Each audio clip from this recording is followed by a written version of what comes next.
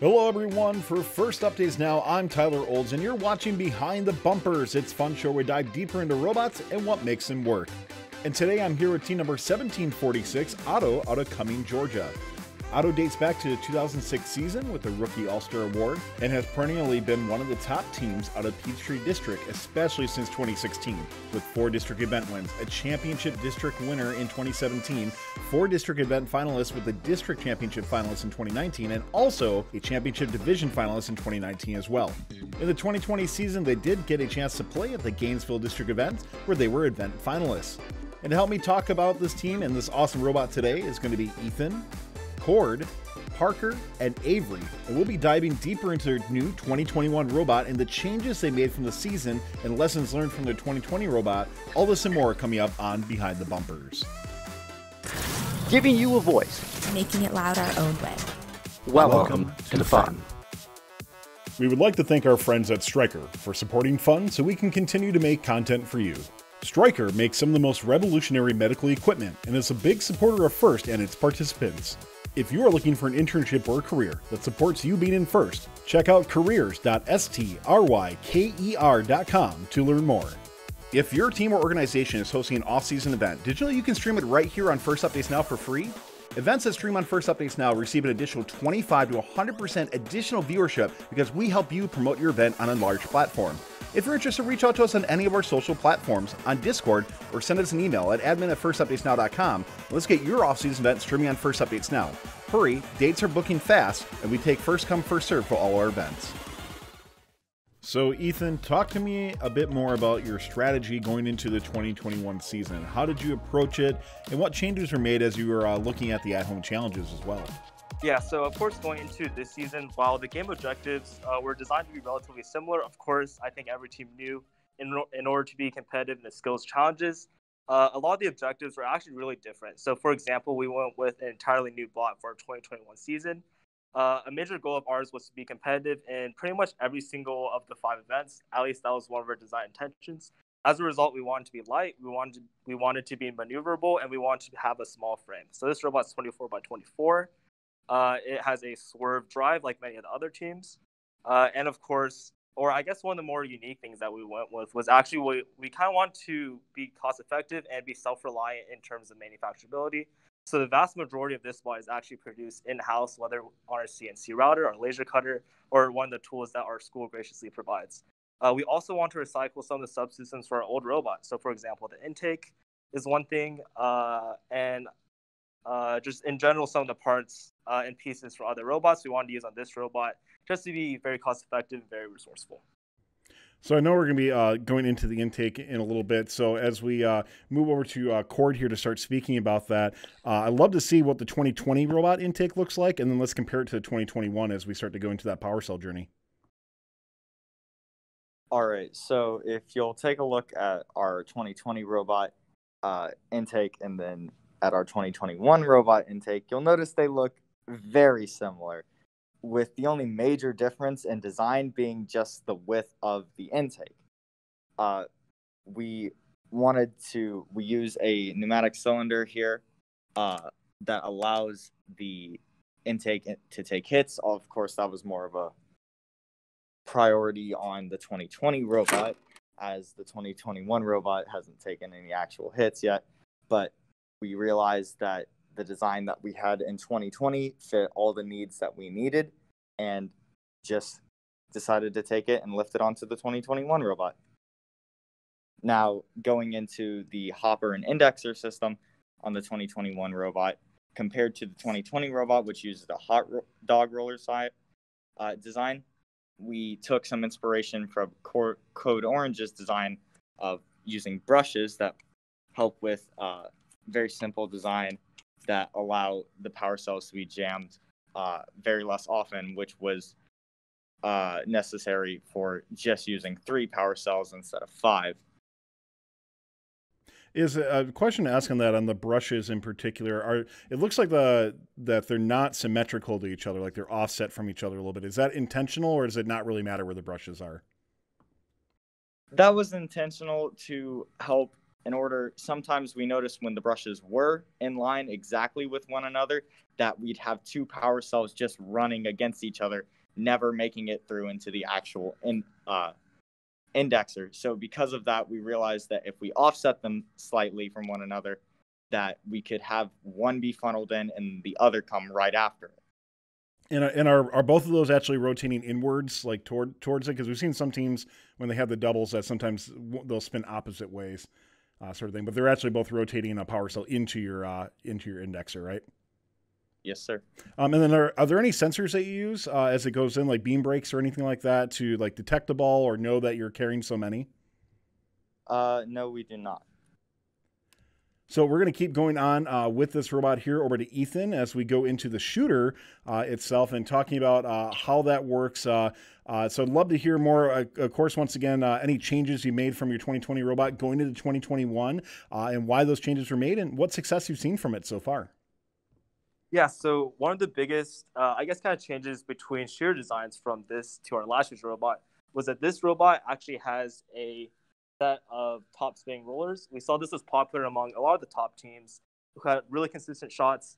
Uh, so we kind of wanted to add that into our own robot. It is driven off our flywheel, so they kind of take advantage of each other.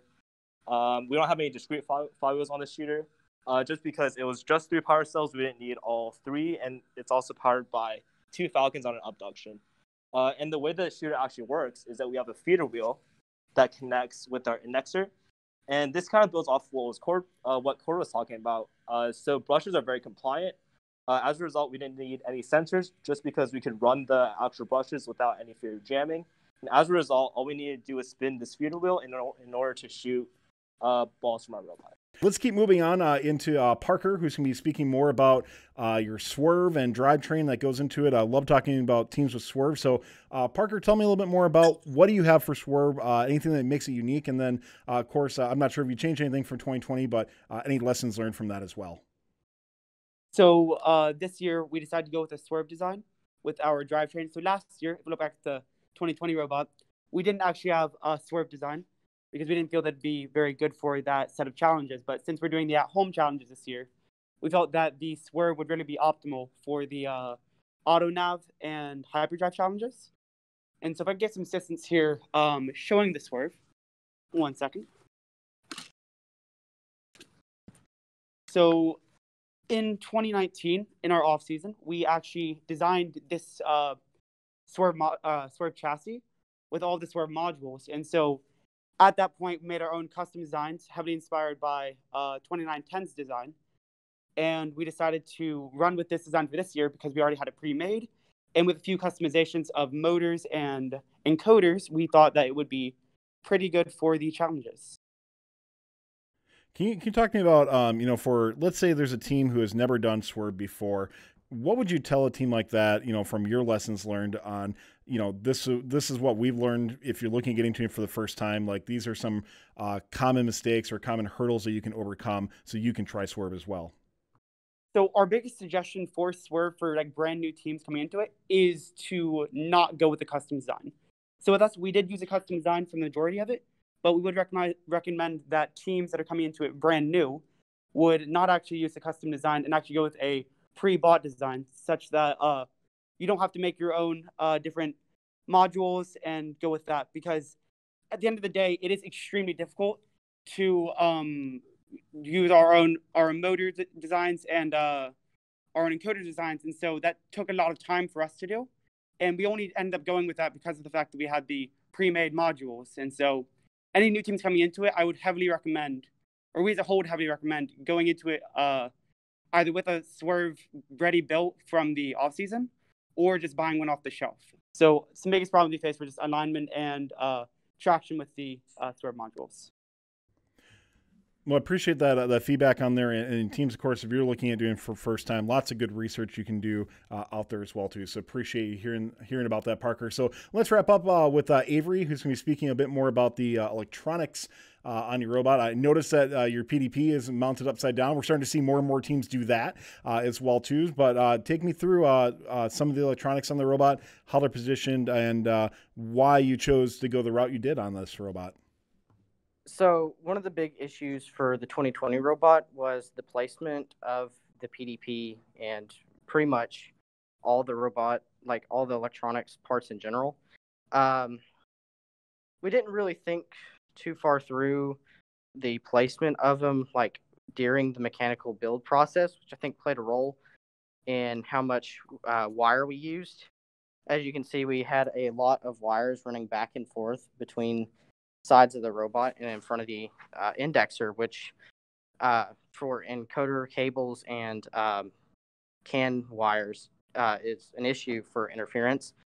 So we wanted to simplify the system of robot or system of electronics and uh, kind of control the amount of wire we are having to use on this one. So uh, we decided to place the PDP under the robot, like you said, but also place the battery under the uh, hopper plate to where we can easily change the well easily change the battery and we still have a uh, centralized uh, system of electronics where we have all of our motor controllers have access to the PDP pretty easily and that uh, we have less wire that we have running between sides and uh, our electronics more sorted out. Well, Avery, appreciate that. And once again, we have uh, 1746 Otto coming out from Cumming, Georgia. So uh, thanks a lot for taking the time to tell us more about your robot and everything that goes into it. And uh, wish your team the best of luck uh, in the future. Hopefully, we get to see this uh, uh, play actually on a field somewhere in, in, person, but you never know what's going to happen in the future. But if not, good luck to your team in future years. And thanks for taking the time. Awesome. Thanks for having us. It was definitely a good time to be here. Thank you. We would like to thank our friends at Stryker for supporting this video. Stryker is looking for current and future FIRST alumni to join their internship program, and FIRST mentors who are looking for a great career with a company who actually supports their FIRST journey. Go to careers.stryker.com to learn more. You can also directly support Fun by joining Fun Nation. Click the join button, and just for a few bucks a month, you'll unlock special perks and directly support us so we can keep making great content. Don't forget to like, subscribe, and ring the bell to stay up to date on our new videos. Keep the conversation going and provide your input to our content. Watch our live shows at twitch.tv forward slash first updates now. Join our Discord at discord.gg forward slash first updates now. And check out Fun FTC on Facebook, Instagram, and Twitter. And First Updates Now on Facebook, Instagram, TikTok, and Twitter.